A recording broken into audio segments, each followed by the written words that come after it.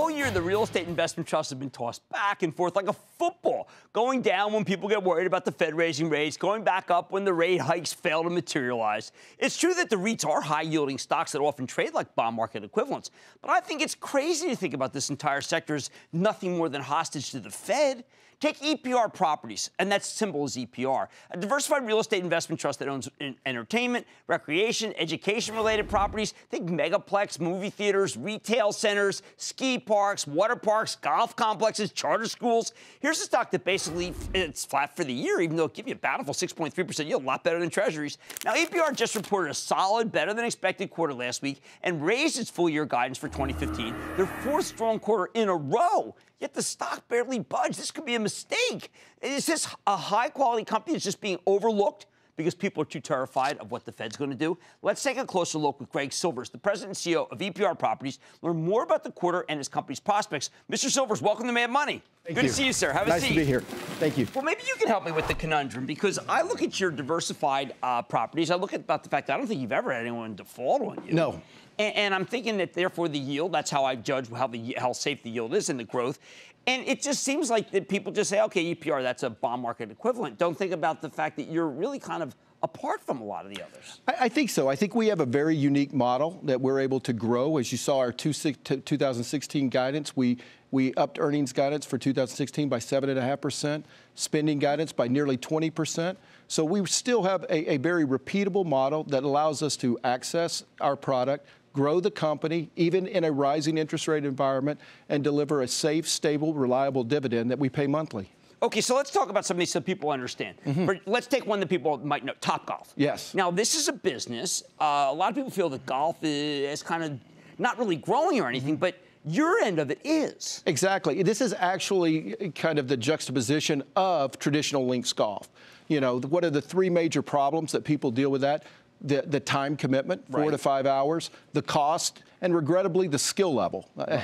And so uh, uh, this is a concept uh, where it combines technology and golf in a driving range with a microchip in it, with an overlay of food and beverage, high social interaction, high content driven, and it's a great time, approachable by people of all ages. It's 47% women are, are the yeah. attendees. So this, they've got a very big corporate and group event business, and it's been incredibly successful everywhere we've introduced it with them. Okay, uh, since the time we, we talked to your company last, there was a, a kind of a uh, open-ended optionality about a casino property. Mm-hmm. That looks like it's worked out, and that the actual uh, you get the upside. I don't see the downside. Right. For us, what we've done is we've structured that deal as a ground lease. Right. We're not necessarily going to participate in the con- the cost of building the casino, but we'll have a percentage rent or a participating interest in the performance of it. So without without introducing new capital requirements, we are activating what was a dormant asset for us. And so we, as we talked about on our call, we see this as a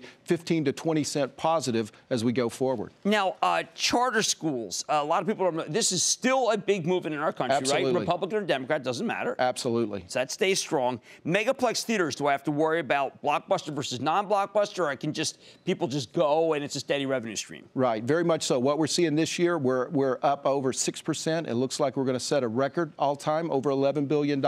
Attendance is up 6%.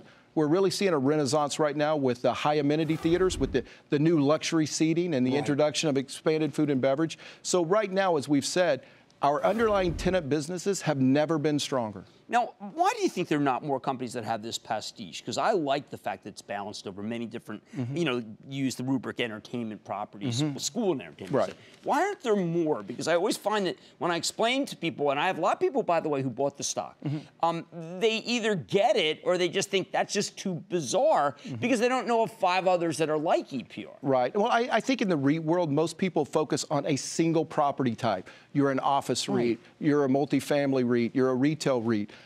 I, I think for us, being in the, in the specialty, having a nice balance between multi sectors gives us the, the counter cyclical from consumer discretionary with kind of the government pay of public charter schools. It gives us a nice balance. It's what we like, and we think it delivers the kind of results that, that we think we, uh, we've enjoyed for 18 years. Well, it clearly has, because there'll be times when I'll be speaking to a retail REIT analyst, and someone will be saying Amazon's killing them, and they all go down, which is not mm-hmm. true. Mm-hmm. And then, uh, you know, Deb Cafaro, who's so fabulous. Absolutely. People are saying, Jim, you're wrong. Senior assisted living, not good. Sometimes you just you kind of want the mosaic. Yes. Because then you don't feel like that you're just being weighed down. Uh, people therefore should presume, with all the, the good news, that uh, that there could be increased distributions in 2016. Absolutely. If you think about what we've done, our dividend has averaged a 7% increase over the last five years, every year. So we, we would anticipate that we would grow our, our dividend and rate with our earnings increase. Fantastic. All right, well, look, it's great to meet you. I've talked to your predecessor before. This has been a big win for us because we've been behind it for a long time. That's Greg Silvers, President and CEO of EPR Properties. Really transparent company, great deck. You can find out everything that I have, that I went over, and I think you'll like it. Stick with Cramer. Booyah! Jim Cramer here from Mad Money. Thanks for watching CNBC on YouTube. Click here to subscribe and get the jump on my exclusives with CEOs, plus market news, investing advice, and a whole lot more.